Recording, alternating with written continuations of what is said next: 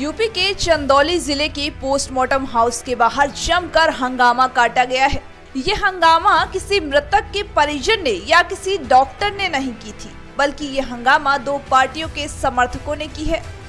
इन तस्वीरों में चीखते चिल्लाते लोग दिख रहे हैं। पुलिस बीच बचाव करने में लगी हुई है। पुलिस इस हंगामे को शांत कराने में लगी है, लेकिन इस माहौल पर काबू करना मुश्किल सा लग रहा है। हालाँकि पुलिस ने जैसे तैसे सभी लोगों को शांत कराया। फिर जाकर चंदौली के पोस्टमार्टम हाउस का हंगामा शांत हुआ।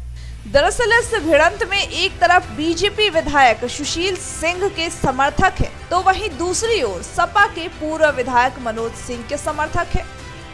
हुआ कुछ यूँ कि बीती रात चंदौली निवासी ब्रजेश सिंह की संदिग्ध परिस्थिति में मौत हो गई थी। जिसकी सूचना मिलने पर सैयद राजा के बीजेपी विधायक सुशील सिंह पोस्टमार्टम हाउस पर अपने समर्थकों के साथ पहुँचे थे। इसी दौरान सपा के पूर्व विधायक मनोज सिंह डब्लू भी अपने समर्थकों के साथ वहाँ पहुँच गए।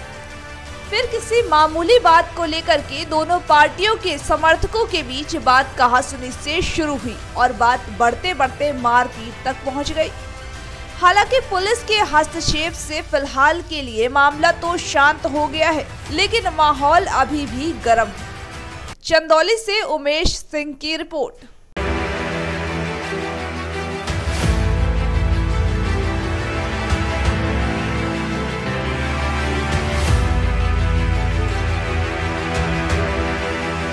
ऐसे ही ताज़ा तरीन खबरों से जुड़े रहने और उसके अपडेट जानने के लिए जुड़े रहें आप अपने राजपट टीवी चैनल से।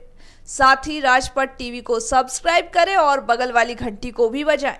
अपना बहुत बहुत ख्याल रखें, साथ ही याद रहे, दो गज की दूरी, मास्क है ज़रूरी।